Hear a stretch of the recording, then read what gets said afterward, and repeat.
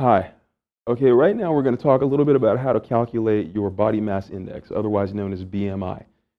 Now, before you do this, just keep in mind that body mass index is not proven to be um, necessarily an accurate gauge of your body composition, of your overall body composition. It kind of depends on the dimensions of the person you're talking about um, and the other factors that we won't get into.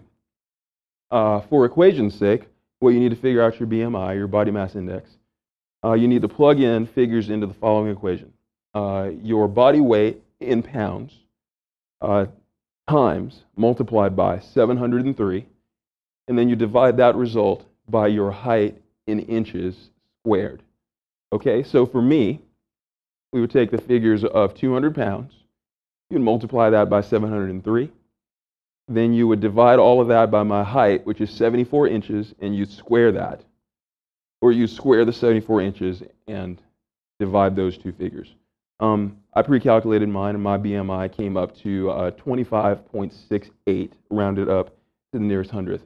Now, again, as I mentioned, BMI is not always an accurate gauge of body composition. Um, for my particular body, uh, I am, I've had a physical, doctors say I'm in great health. Now, if you go by BMI numbers, I'm not healthy because at six foot two, my, bo- my body mass index should be lower. But again, it depends on your body composition. I happen to be more lean muscle than fat. So you have to take many, many factors into consideration when calculating your BMI. Make sure you consult a doctor and a fitness professional to get some guidance on how to look at those figures. That's how to calculate your BMI.